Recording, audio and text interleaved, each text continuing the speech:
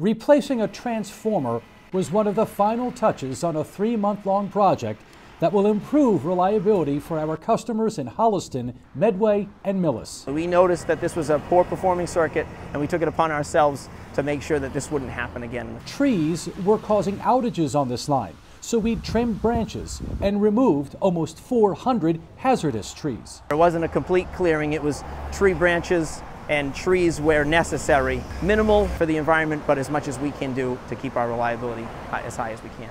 More than a mile and a half of bare power lines have been replaced with new insulated cables. It's also a larger wire too. The older wire was thinner, uh, so this, this new wire can carry more load. So now there's, there's like a tree covering and it's an insulated wire, so if in fact a, a branch does come in contact with it, it's less likely to cause that power outage. We also work closely with Verizon to replace nearly 70 utility poles. These poles were, were aged, they were older, and, and uh, with this new wire coming in, it, it creates a different strain and stress on the poles, and the older poles just couldn't handle it.